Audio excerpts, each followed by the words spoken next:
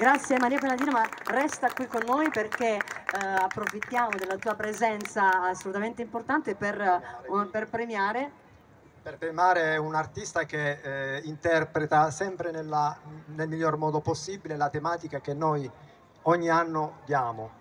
Uh, due anni fa è stato sulla, sulla pace, l'anno scorso sulla, sulla, violenza sulle donne, quest'anno sull'ambiente. Quindi, Quindi l'artista che ha centrato diciamo, nel miglior modo, modo no? secondo i crismi eh, chiaramente definite, definiti artistici, eh, il tema di questa edizione. Di quest Quindi Guido Partaleone se può venire con la sua opera. Accogliamo Guido, sul palco Guido Partaleone. Portaleone. Portaleone, scusate, scusami Fabrizio, ho inteso male. Lo attendiamo anche per lui la passerella? Eh? Certo. Ovviamente. Eh, senza passerella la targa non, non, non, no. non lo si dà, eh, no, no, no, no, quindi assolutamente. Fa passerella e quindi si posiziona. Allora, eccolo qua, Guido, guadagna Vai. tutta la passerella. Eccolo. Come giustamente meriti, anche perché noi ti vogliamo vedere qui raggiungere il palco con un grandissimo applauso per questo artista Guido Portaleone, eccolo qua, accomodati. Che bellissima opera.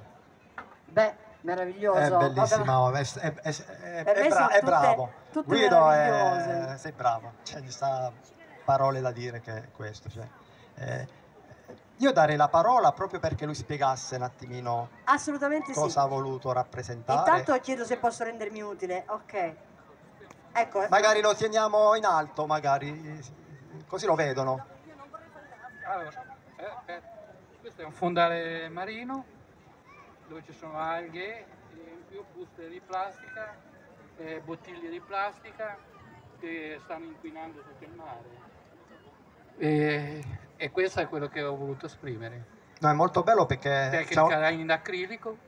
C'è una cromaticità stupenda sì, e l'idea no, che no. si possa perdere per opera dell'uomo ti fa capire questo contrasto io lo vedo nel senso quando si sì, bello sì. sotto sì, infatti, e poi eh, si perde questa cosa perché adesso per esempio cose... tutti i, i, i, i, coralli stanno sbiadendo tutti nel mare no? perdono quella eh, lucentezza e la brillantezza di quello è un'opera stupenda per me sì, se posso dire qualcosa su Guido, lui è un artista sorprendente perché Guido è un artista essenzialmente eclettico, versatile e l'ho conosciuto come um, pittore di storia perché è uno straordinario pittore uh, del Medioevo, quindi di un'epoca cavalleresca, di torri, di castelli, giostre, tornei, crociate.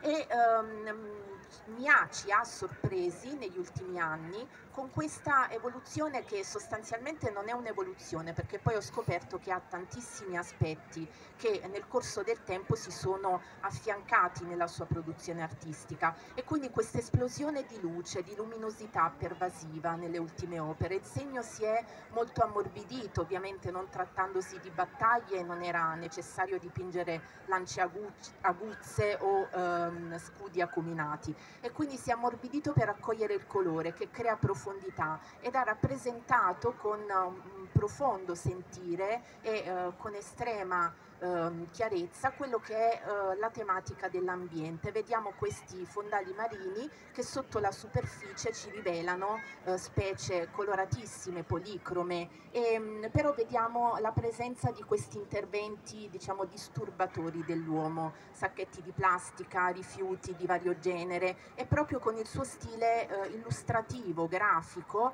riesce a farci capire molto chiaramente quello che è il monito, cioè una necessità proprio di una correzione dei nostri comportamenti in questo senso.